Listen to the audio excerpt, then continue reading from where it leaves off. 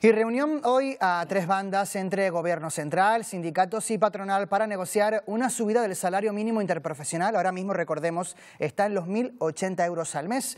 Las posturas de los empresarios y de los representantes de los trabajadores están alejadas. Saludamos ya aquí en plató a Héctor Fajardo, que es el secretario de organización de UGT en Canarias. ¿Qué tal? Buenos días. Buenos días. E Inocencio González, secretario general de Comisiones Obreras en las Islas. Buenos días, bienvenido. Buenos días. Bueno, señor González, empiezo con usted.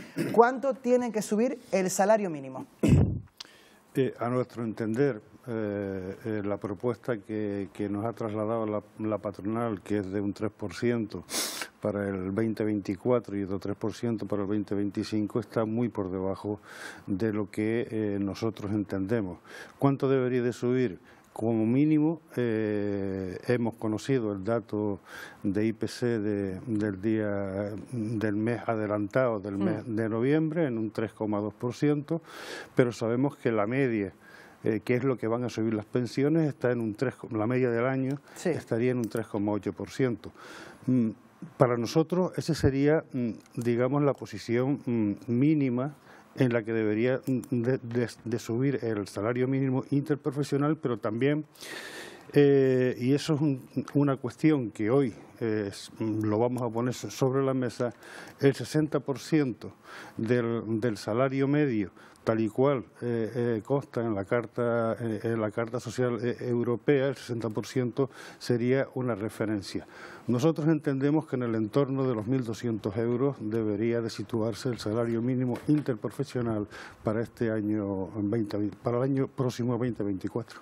En el caso de UGT, entiendo también que les parece insuficiente esa propuesta del 3% para el próximo y 3% para el siguiente que hacen los empresarios. Sí, a nosotros nos parece insuficiente ese planteamiento que hace la patronal.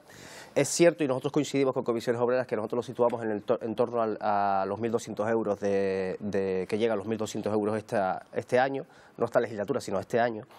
Eh, el próximo año me refiero. Em, para nosotros entendemos que el 60, si los salarios de los convenios colectivos, de las tablas salariales de los convenios colectivos, se ha ido incrementando, en algunos casos por encima de la tasa de, del IPC, eh, también tiene que subir teniendo en cuenta que la guía que nosotros seguimos, como bien decía eh, Chancho, es el 60% del salario medio de España, también tiene que incrementarse en esos valores también el, salario mínimo interprofesional.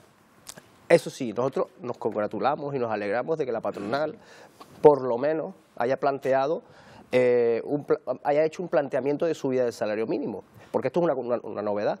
La patronal, históricamente, eh, cuando se planteaba una subida del salario mínimo, siempre eh, nos ponía en el peor de los escenarios, casi un escenario apocalíptico, y el hecho de que se haya sentado y haya planteado una subida del salario mínimo conforme, al menos, a esa casi similar a esa tasa del IPC, nos parece una buena noticia y por lo menos un buen punto de partida para empezar a negociar y recuperar de nuevo ese diálogo social en esta materia que estaba totalmente roto eh, en el pasado. Los empresarios dicen que esta propuesta que hacen del 3% para el próximo año, del 3% para 2025, es exactamente la misma que lo que se recoge en el quinto acuerdo para el empleo y la negociación colectiva que se firmó en el mes de mayo. Les pregunto, eh, ¿por qué eh, aceptaron los sindicatos. Entonces ese acuerdo eh, colectivo del 3% en mayo y ahora se pide más.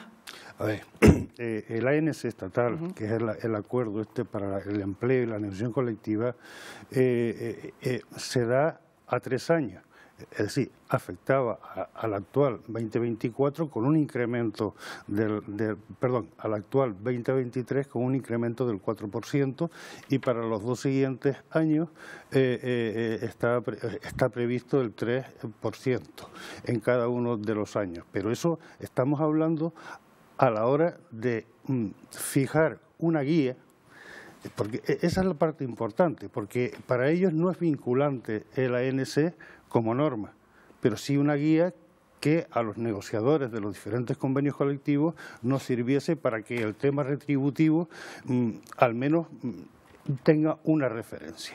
Pero volvemos a insistir eh, en una cuestión. De hecho, la media de los convenios colectivos no aquí en Canarias, pero sí a nivel estatal está sobre el 4%, 4, 4,1%. Aquí estamos casi un punto por debajo, pero estamos hablando de eso, ahora estamos hablando de salario mínimo interprofesional. Y como, como bien eh, decía el compañero, eh, tenemos que fijarnos eh, en, una, en, una, en una cuestión importantísima. Eh, serán aproximadamente casi unos 3 millones de trabajadores y trabajadoras, de los cuales unos 200, 200 210 mil están ubicados aquí en Canarias, que además están en la parte baja de esos convenios colectivos, cuando los tienen como referencia. Si no, sería el salario mínimo interprofesional la, referencia. Y esos son temas importantes. Estamos hablando mm, mm, mm, fuera de los convenios colectivos, en donde los salarios actualmente, y gracias a ese SMI que se ha ido pactando en estos últimos años, están en 1.080 euros nosotros entendemos que efectivamente con una inflación que, aunque se haya moderado últimamente, pero sigue siendo alta, lo mínimo que podemos nosotros eh, eh, entender es que ese salario mínimo interprofesional se sitúe en ese entorno de los 1.200 euros eh, al menos en este año, o sea, en el año que viene, mm. en, el, 2000, y, aparte, 2004. Y aparte, Chencho, porque que no es lo mismo, el salario mínimo es una cosa que establece unas reglas mínimas de, o por lo menos una, lo, mínimo que necesita una persona para vivir con cierta dignidad y no alcanza para eso. Eh, y luego los salarios, la, guía de la ANC para la negociación de los convenios colectivos, que es otra parte, es totalmente diferente. Hay dos herramientas de reparto de la riqueza en este país, en este sistema, eh, y es a través del salario mínimo y a través de las tablas salariales de los, de de los convenios colectivos. Y para nosotros el salario mínimo eh, tiene que superar el IPC porque entendemos que la parte más eh, vulnerable de esos trabajadores, que son los que cobran el salario mínimo interprofesional, tienen que recuperar la capacidad adquisitiva que se les ha menguado con el incremento del IPC, como bien decía el compañero de Comisiones Obreras, lo que han perdido con el aumento del IPC durante este, mm. este trayecto histórico y teniendo en cuenta que el salario mínimo eh, no olvidemos que hace unos años eh, estaban unos 600 euros, hace unos años, no, no, no es una cuestión ahora que se haya que se haya incrementado evolutivamente rápidamente en los últimos años, no quiere decir que han pasado por un periodo de gran carencia. ¿no? Eh, quiero preguntar a los dos, de manera muy breve, porque nos quedamos sin tiempo, ¿cómo están viendo este choque que hemos visto entre la ministra Yolanda Díaz y también la ministra Nadia Calviño a cuenta de esa reforma del subsidio por desempleo? Calviño aboga por reducirlo progresivamente para incentivar, dice ella, la búsqueda de empleo. Yolanda Díaz apuesta por ampliarlo a más beneficiarios. ¿Cómo lo ven? Sí, hay un el discurso que mantiene la parte eh, patronal y conservadora de, lo que es la, sociedad, ¿no? que le compra eh, la ministra de Economía a, esta parte de eso de que con los subsidios se incentiva el desempleo, eso es una falacia, eso no ocurre. Nadie quiere vivir con 400 euros.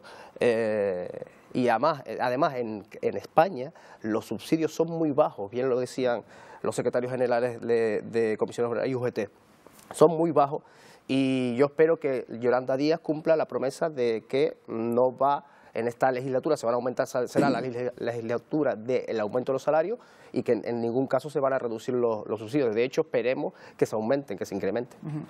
No, no, eh, eh, eh, totalmente de acuerdo. Sí, 480 euros al mes no es una situación que a ningún trabajador porque entendámonos que el, subsidio por desempleo es una vez que agotas la prestación por desempleo.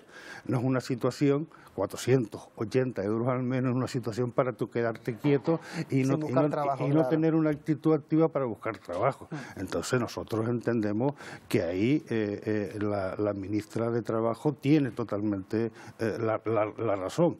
Porque esto de ir disminuyendo en base, en base lo vas agotando porque eso te incentiva a buscar trabajo es que ya desde que lo cobras el y aparte de eso, hay otro, otro elemento para nosotros importante. Ahora mismo tú tienes que acabar prestación, esperar un mes sin cobrar nada para volver a cobrar el subsidio. Y también esa parte nosotros entendemos, tal y cual dice la ministra, ese mes de espera es algo inasumible para muchísimas familias y parece una penalización más. Entonces nosotros entendemos que la, que la reforma que se va a hacer en materia de, protección por el desempleo es bastante eh, adecuada. Bueno, pues estaremos pendientes de lo que pase hoy en esa reunión a tres bandas, gobierno, patronal y sindicatos, para la subida del salario mínimo y también del desenlace de esa pugna entre la ministra de Economía y la ministra de Trabajo a cuenta de la reforma de ese subsidio por desempleo. Héctor Fajardo, Inocencio González, en representación de los sindicatos mayoritarios en las islas. Muchas gracias a los dos por habernos acompañado. Gracias a ustedes.